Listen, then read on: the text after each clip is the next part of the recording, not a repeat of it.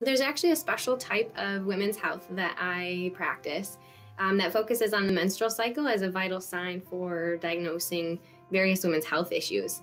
Um, so I love talking about fertility awareness based methods of family planning and how monitoring biomarkers throughout a woman's menstrual cycle can help guide treatment. And I find it really empowering to share with them that, that this is information their body already has and, and we can use it. I love the people the most. Um, and so that means the people that I work with, who I find really inspiring every day, and also the patients and their families.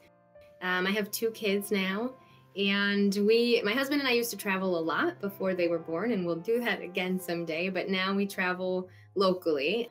Um, I grew up in rural Wisconsin, and so um, hobbies like hiking and foraging and gardening run pretty deep to who I am, and I love teaching those to my kids.